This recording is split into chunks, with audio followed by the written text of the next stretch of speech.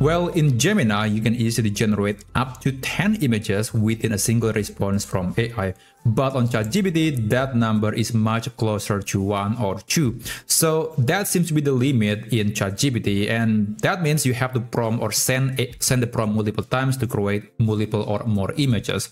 But there is actually a way to generate more than two pictures within the same response in ChatGPT. Like in this example, I was able to generate eight pictures and I saw some people actually able to generate more than 10 pictures at once.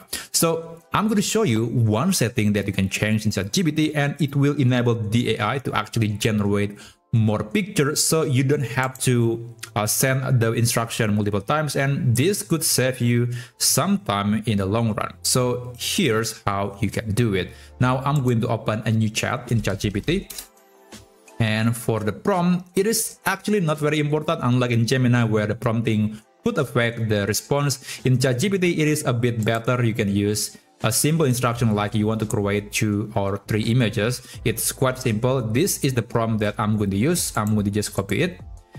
And there are 10 images that I want to create, but hopefully I can create all of them, but again, there is no guarantee because there is actually something called rate limit in ChatGPT. So at the moment, it is using GPT-4o image generation, also known as GPT Image 1, and apparently the limit is 5 images, although, as I have shown you earlier, I was able to generate 8 images. So the limit here is not exactly accurate. It is not always something that you can rely on. And I saw some people able to generate more than 10 pictures in their account, even though they're using the plus version. Now here, let's go back to, to ChatGPT.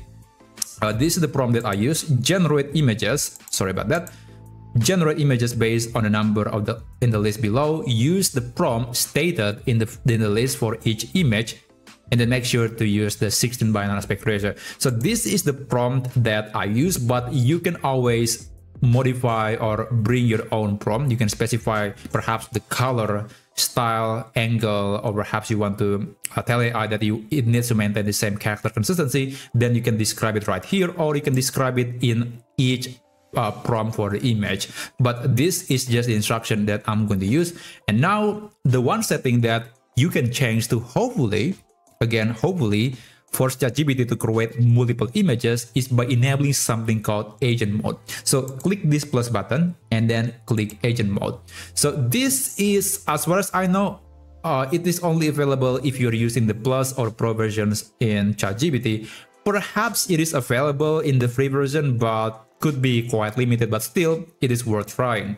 Now, when you're done, you can send the message and just wait for this AI tool to generate multiple images. Again, hopefully it is 10 images, but I'm not gonna be giving you a 100% guarantee that it can generate that amount of pictures but hopefully at least it can create more than two pictures in one response so uh, this will take quite some time and i'll be back when it is done all right so after about 13 minutes it is able to generate one two three four five six seven eight pictures yeah and it says unable to generate images for uh, the other pictures basically due to rate limits yeah. That's basically the limit on my ChatGPT account but your account could be different it could be less it could be more but at least it is safe to assume that you can generate more than two pictures in one response in ChatGPT. And by the way, if you're interested, I'm going to be